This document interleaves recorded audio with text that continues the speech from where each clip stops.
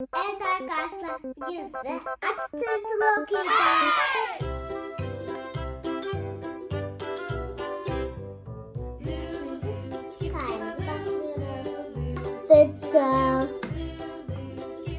Gecenin güzel güzel bir gecesinde ay küçük bir yumurtayı aydınlatıyordu.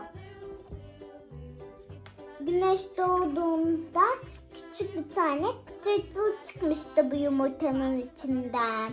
Karnım çok açtı. Gidip kendine bir şeyler aramaya başladı. Pazartesi bir tane elmayı başından sonuna kadar yedi. Salı günü de armut yedi iki tane. Perşembe günü de tam üç tane erik yedi. Perşembe günü dört tane çilek yedi. Ama karnı hala çok aç.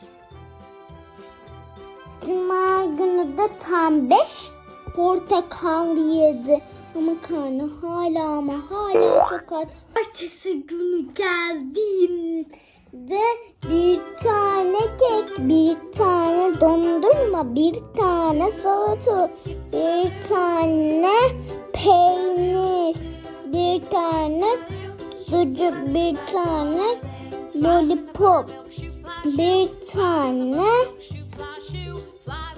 meyveli kek, bir tane sosis, bir tane üzümlü kek, bir tane karpuz. Tırtılın karnı çok ağrıdı. Ertesi günü yine pazardı. Karnım küçük minik tırtılımızın karnının ağrısı geçmişti. Taptaze bir tane yaprak yedi.